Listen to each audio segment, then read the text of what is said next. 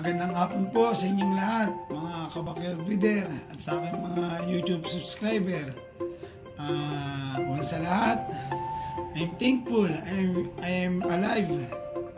I'm I am a COVID survivor. Uh, thank you, Lord. Uh, I'm here again uh, to share with you my 2021 breeding materials. Uh, hindi po ako nagbabago ng materials sa loob ng labindalawang taon dahil maganda naman po ang aking record. Uh, meron lamang po tayong mga dinadagdag ng mga pinapasok ng mga panibagong breeding. Yun po yung testing. Kasi lagi po ninyong tatandaan, ang breeding po ay uh, continue processing, continue developing ng ating mga materyales. Talagang maghahanap tayo na lalo pang maging maayos ang ating mga gagawing mga materyales o mga gagamitin natin sa ating uh, sport. Uh, sana po may bigay niyo po ang aking mga materialis. Ito ba, ipapakita ko po sa inyo.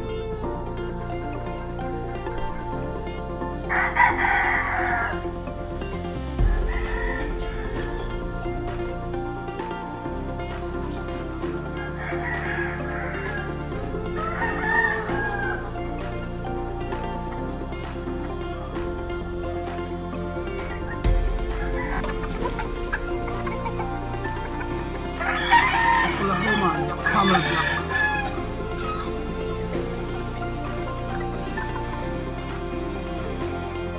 Yeay, pure kulare.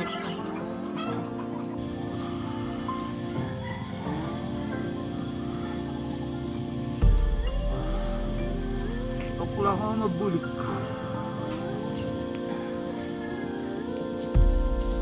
Oklahoma bulik.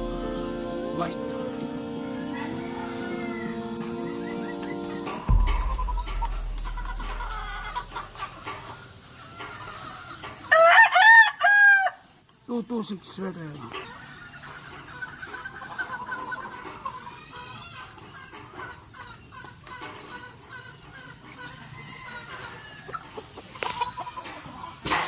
Pure five K seven.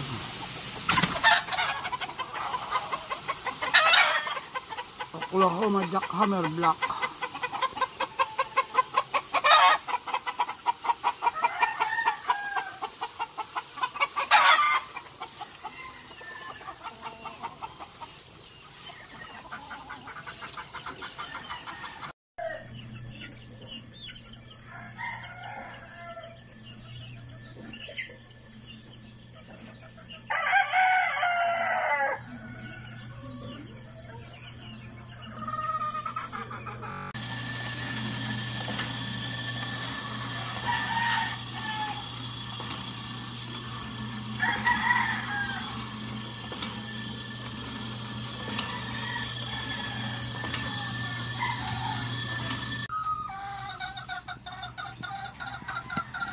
May breeding materials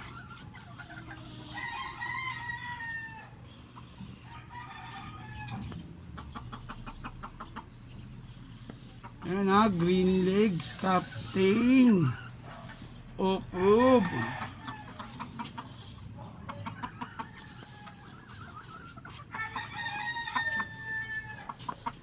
Ang aking mga gal, white ear, motombo, and fire.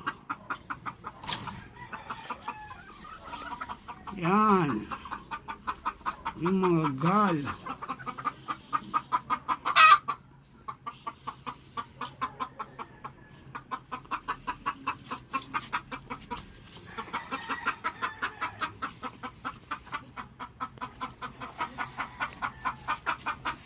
naman ang aking sariling gawa.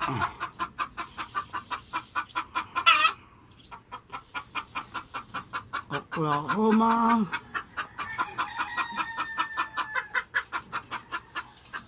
357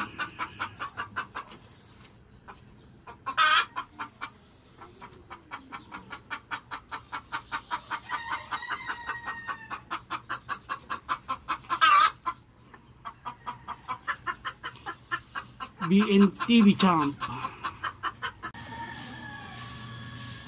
Yun fire gun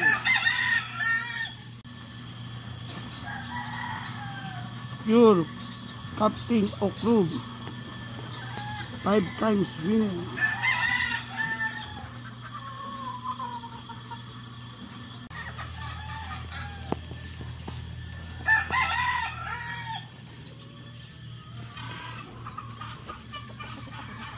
pure bandang 45